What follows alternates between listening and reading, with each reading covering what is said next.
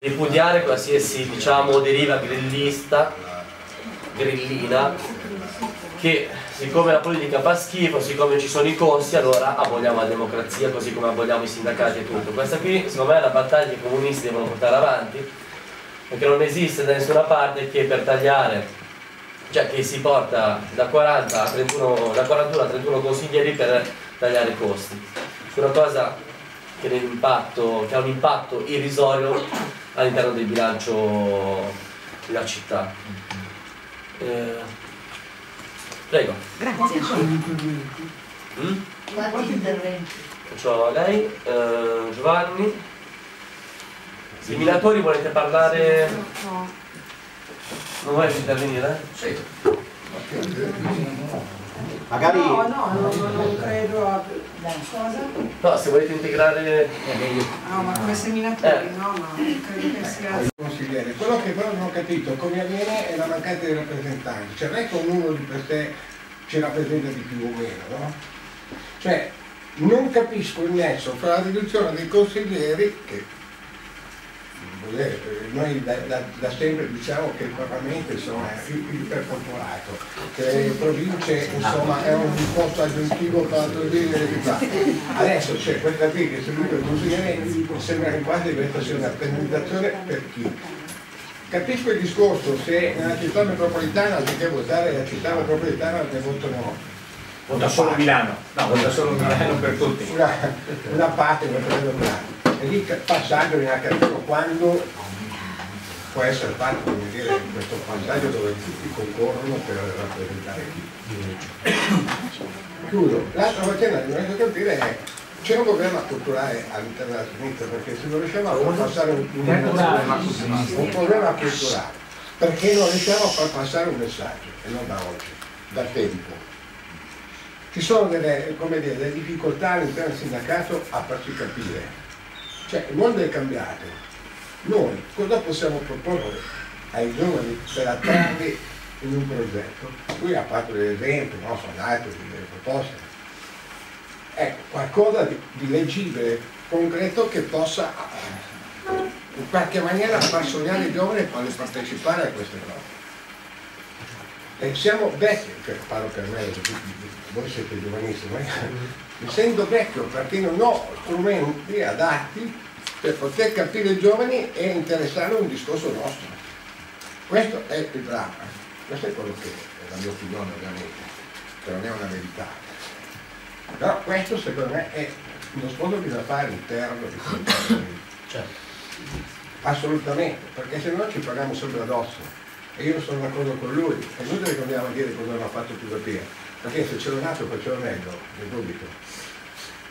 Ci sono state delle difficoltà con questa giunta, non c'è dubbio, dobbiamo farli presente perché siamo lì apposta, ma cosa c'è di meglio?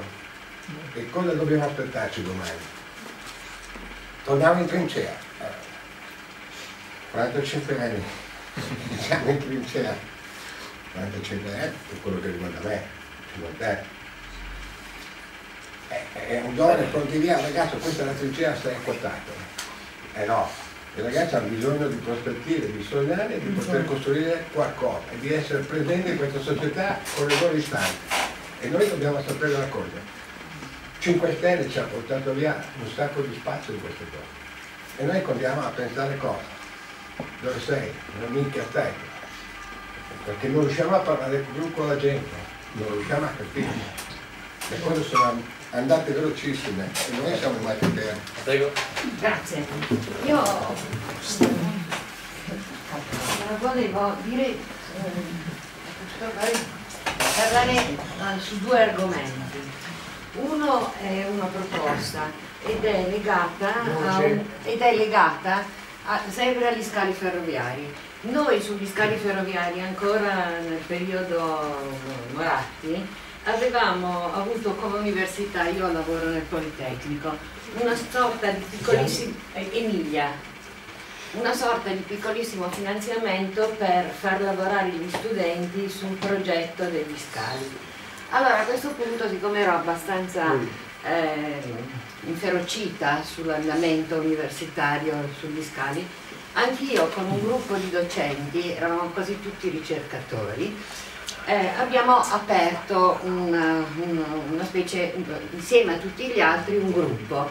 A questo gruppo avevano partecipato dei comitati di quartiere, dei consiglieri, eh, avevano partecipato diversi studenti e la nostra proposta, che poi entra in questo libro pubblicato sul lavoro dell'università, era completamente diversa dagli altri, tanto diversa che quando il preside della facoltà in giro con Massaroli per far vedere le varie esposizioni eh, è arrivato nel nostro gruppo e ha detto ma questo non interessa.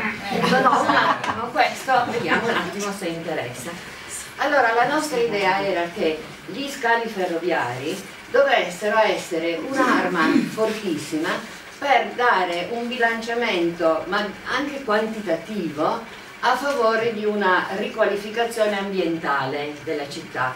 Ora col COP21 di Parigi questo obiettivo, questo di costruire un'idea su come utilizzare queste zone della città che sono, è vero, cerniera della città metropolitana, è vero anche per certi scavi come quello Farini, eccetera, nel cuore della città allora, una proposta che noi facevamo era che soltanto se tu sei vicino alle reti fognarie produci biogas, quindi far partire su queste aree anche una progettazione di eh, aziende, iniziative produttive che però avessero questo chiaro obiettivo. Allora io dico, questo è un lavoro che è stato fatto e che eh, non è possibile che noi magari in un ambito lo ritiriamo fuori, certo. lo studiamo insieme, lo rilanciamo, punto di domanda.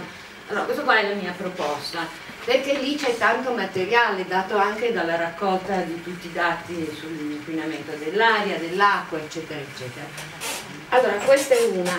La seconda cosa invece è più ardita, ve la dico qua per la prima volta allora, questa sera, questo pomeriggio, io ho sentito delle proposte di lotta che condivido, però ho sentito anche parlare di progetti veri e propri, non so, quelli che citavi tu, per esempio, eh, oppure eh, un'idea che eh, avevamo insieme agli scali ferroviari, che era quella che era indispensabile ormai sulla linea della tangenziale creare una circonvallazione leggera di coordinamento, no. queste e molte altre sono proprio dei progetti, dei progetti che delle città nel mondo dove hanno una, un governo ma neanche rivoluzionario però intelligente lanciano e sostengono economicamente allora la nostra storia la nostra storia intesa come nostra storia alle spalle è piena di persone che dicevano le cose giuste nel momento giusto e sono state spazzate via ed è sempre avanzato invece un'altra situazione come quella della, delle aree dell'Expo che citavi, no?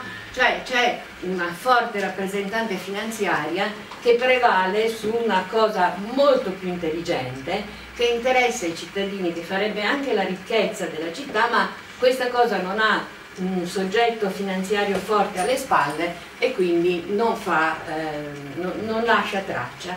Allora, anche citando l'ultimo intervento, che cosa coinvolge i giovani? Crowdfunding. Perché noi non riusciamo su certi progetti, progetti proprio di sviluppo della città, tenendo presente che le banche sono veramente troione e rubano i soldi a tutti, non è che noi per caso uniamo alla nostra proposta di lotta anche questa capacità di costituire un potere finanziario in un momento in cui la società è divisa tra pochissimi ricchi e tantissimi poveri e quindi questi progetti noi non li lanciamo come momento di lotta ma cerchiamo di costituirci come un centro finanziario non ladrone e questa è un'altra difficoltà che sappia reggere economicamente la realizzazione dei nostri interventi, degli interventi che noi andiamo a pensare. Eh, ecco, il comitato La Goccia diciamo che per sopravvivere abbiamo utilizzato anche il crowdfunding perché servono questi tipi di autofinanziamento. No, ma io dico proprio comperiamoci di scali ferroviari, non so, insomma. si può fare. Secondo me si può fare. una mail eh, eh, sì, eh. o recapito telefonico possiamo poi avviare un discorso. Perché si tratta di rafforzare, cioè veramente innanzitutto la distribuzione la raccolta di denaro che però vuol dire anche delle azioni con cui magari garantiamo un'economia. Eh, Federico Giovanni. Poi comunque eh, buonasera, noi sempre per l'intervento sui giovani, sono Federico dello Sportello Lavoro qua a Scitilla, ci ha dato la possibilità di aprire questo spazio appunto per dare il maggior numero possibile di informazioni, di supporto e di assistenza ai giovani che ormai stanno arrivando anche ai 40 anni di età ehm, per il fatto di poter affrontare in questa città che chiaramente rispetto al panorama italiano dà molte opportunità ma è, eh, sta diventando sempre più difficile a livello di vivibilità e di accessibilità a un rapporto di lavoro eh, stabile e garantito. Sono usciti i dati del 2015 dell'Osservatorio del Precariato eh, tramite le comunicazioni obbligatorie che sono delle dichiarazioni che si fanno al centro per l'impiego della um, città metropolitana in merito all'utilizzo dei contratti eh, del Job Act a tutele crescenti. E Milano, a differenza di moltissimi altri territori eh, in Italia, eh, l'ha adoperato molto poco. Quindi questo cosa vuol dire? Che la risposta al bisogno che hanno eh, le città metropolitane di quest'area, che è molto eh, si interrelaziona, eh, basta pensare al, al, numero di pendolari che tutt'oggi entrano per esempio qua da noi nella zona 9. Il discorso appunto del Act e delle tutele crescenti non ha inciso eh, sulla possibilità appunto di dare accesso di lavoro a, ai giovani o a chi deve rientrare nel mercato del lavoro.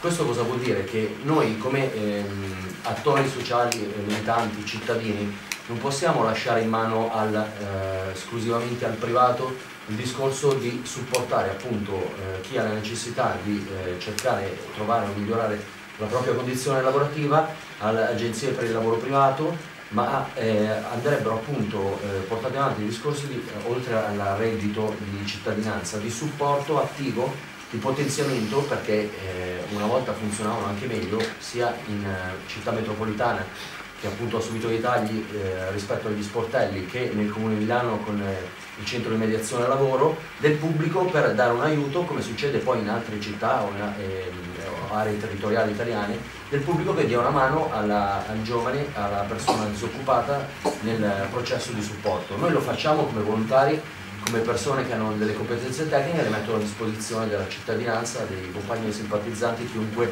si rivolga a noi. Eh, però è chiaro che eh, so, a una eh, mancanza eh, che sarebbe necessaria appunto di intervento pubblico.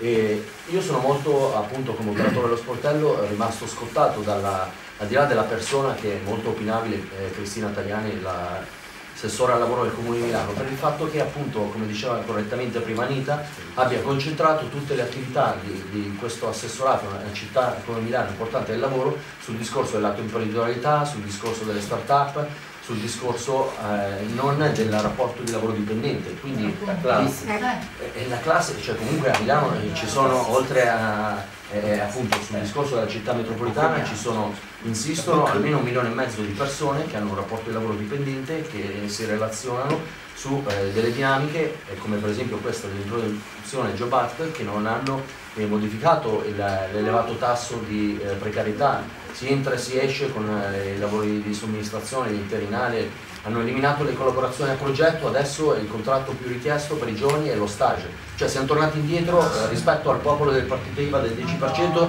del 1998, cioè incredibile, adesso sono usciti i, eh, è stato rifinanziato da parte della regione il, eh, le borse, eh, dei finanziamenti per le la dote unica lavoro che sono per i disoccupati eh, sopra i 3 mesi, 6 mesi, 12 mesi ci sono 10 milioni praticamente eh, si sono attivati dei, questi istituti privati per cacciare eh, per andare a caccia delle persone appunto con il maggior numero di disoccupazione perché sono più premianti hanno dei, dei vantaggi per cercare di attivare degli stage e dei tirocini che hanno se va bene 300-400 euro di rimborso quindi cioè, dal contratto a progetto noi stiamo tornando indietro velocemente per non parlare poi del discorso dei voucher che sono esplosi soprattutto nei contesti più eh, meno eh, urbanizzati però hanno un utilizzo incredibile. Un altro discorso va fatto anche per il mancato rinnovo appunto dei lavoratori precari che ci sono stati, come diceva prima Anita, del comune e l'esternalizzazione dei servizi comunali. Noi abbiamo qua dei compagni che lavorano per i servizi di apertura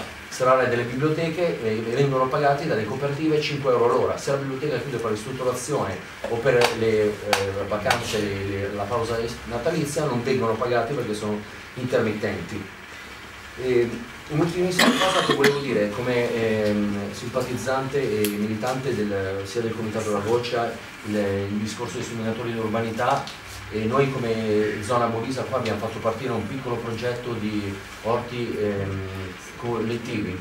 E praticamente eh, con il discorso della partecipazione cosa è successo in questi cinque anni di giunta?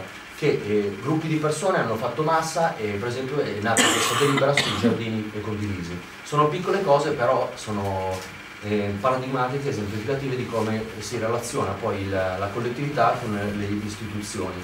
E, ehm, quindi la, i gruppi di cittadini fanno pressione e riescono a ottenere questa delibera dei giardini condivisi che esisteva già in, in tantissime città d'Italia.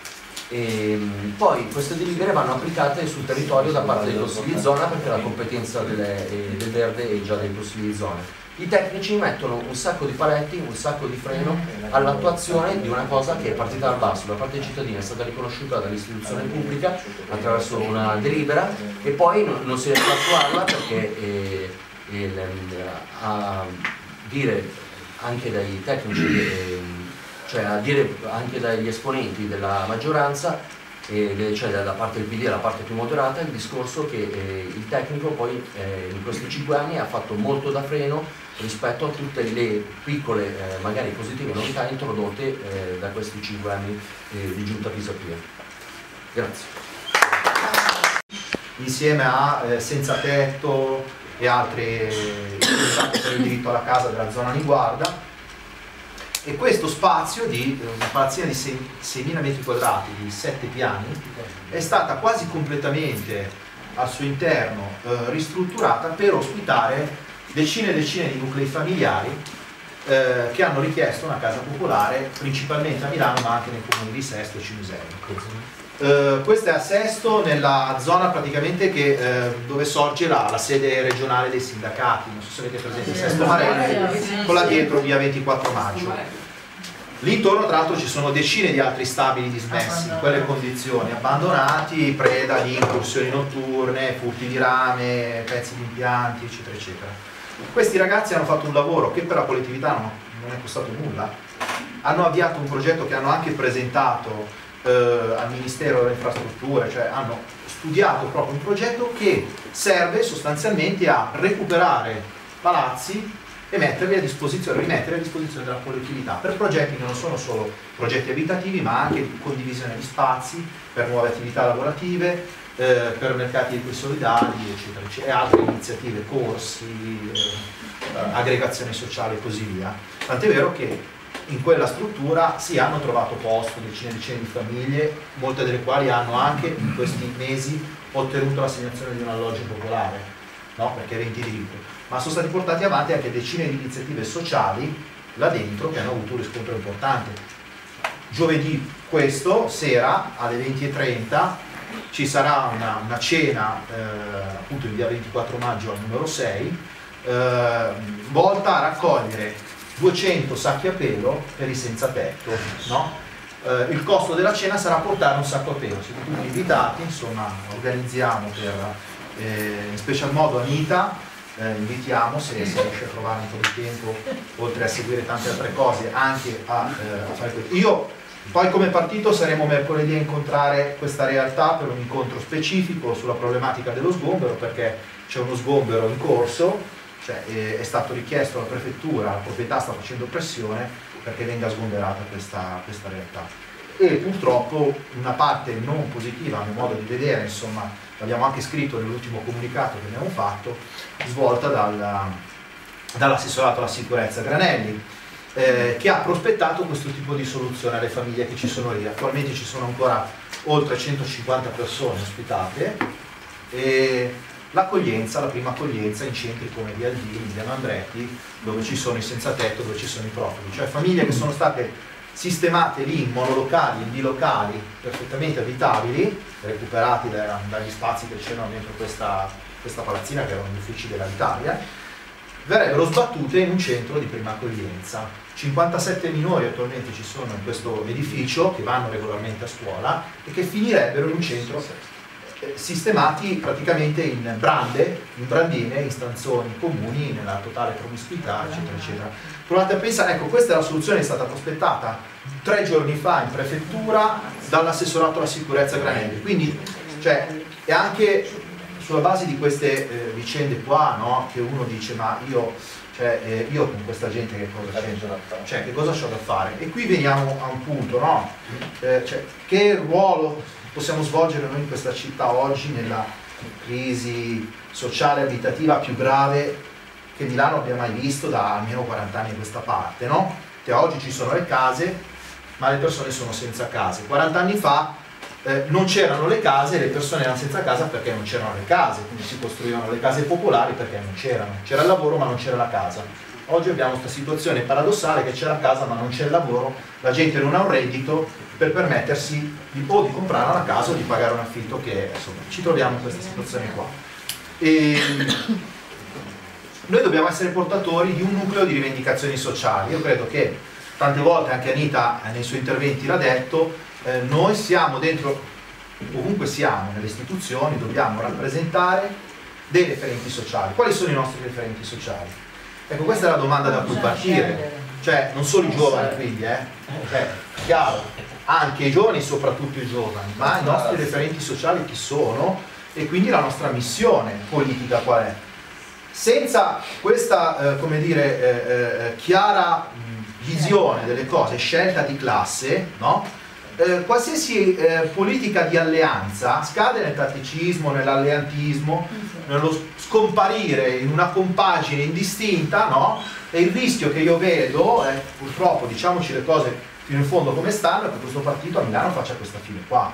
E non dobbiamo permettere questa cosa. Cioè, noi siamo realmente portatori di determinate istanze? Sì, come no?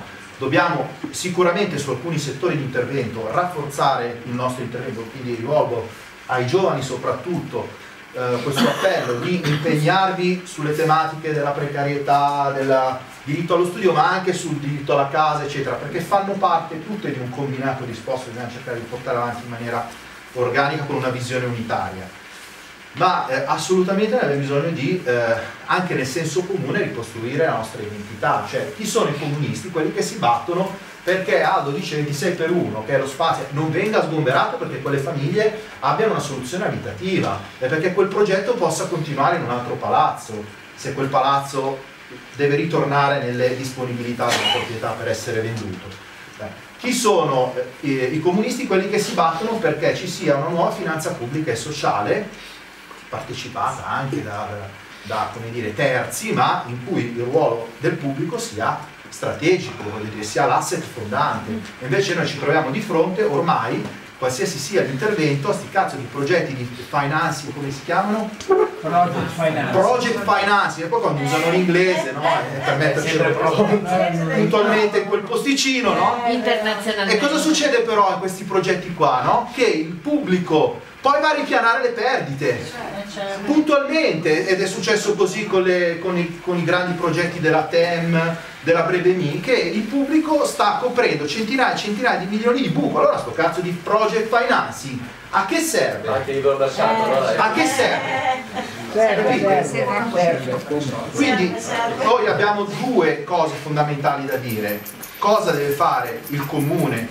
E il comune di Milano ha un, ha un bilancio importante, 3 miliardi di euro, insomma, si possono fare delle cose notevoli, quali sono le scelte strategiche su cui investire e ritrovare anche la nostra dimensione politica e sociale di classe, perché lì ci sono, non ci sono solo i cosiddetti ambientalisti radicali, la borghesia progressista a Milano, no? che conta quel che conta oggi a livello di, di, di, di voto d'opinione, ma ci sono larghi strati della popolazione che non sono più rappresentati da nessuno, che manco i 5 Stelle andranno a votare, perché i 5 Stelle stanno iniziando a, puff, puff, puff, a scendere, va bene, per tutta una serie di cagate che stanno combinando, ed era ora, e, e, e, quindi è da lì che dobbiamo andare. Quindi il ruolo fondamentale del nostro partito è essere proprio quello di rivolgerci a questi strati e dire ci pensiamo noi a rappresentarvi, anzi unitevi a noi per portare avanti queste lotte comuni.